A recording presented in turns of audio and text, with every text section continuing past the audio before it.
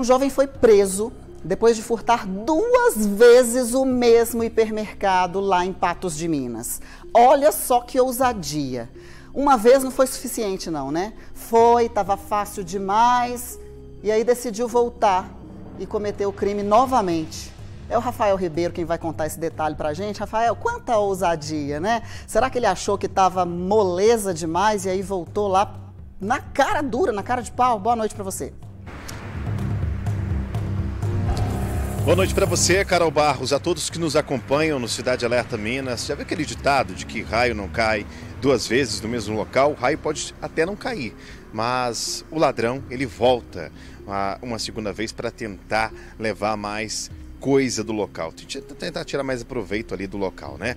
Esse fato aconteceu aqui em Patos de Minas, o jovem tem 21 anos, foi até um hipermercado que fica na Avenida Marabá, ele entrou no local primeira vez por volta de duas horas da tarde, ele vai lá e pega sacos de lixo e chocolate, sai, vai embora.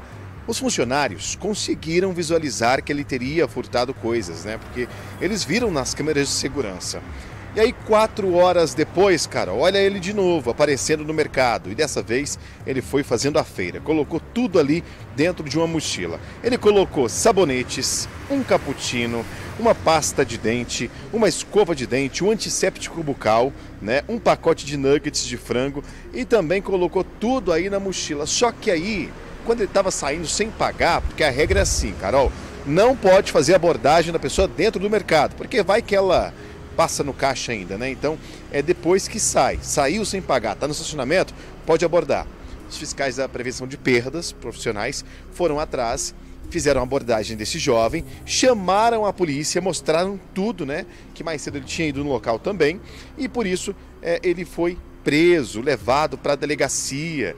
Todos esses itens aí foram devolvidos.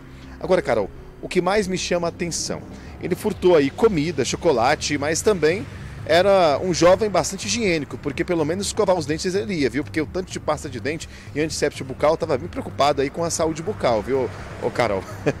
É verdade, não é caso de rir não, mas a gente ri assim mesmo. Porque olha aí só, também tinha sabonetes, tinha um cappuccino ali, tinha frango, enfim. É claro que o Rafael explicou muito bem que, percebendo a primeira vez que ele cometeu o crime e não tendo pego esse homem de primeira, eles já tinham indícios suficientes para que na volta dele o pegassem, mas muito provavelmente ele não estaria mais com os objetos, não teria como provar além das câmeras, né?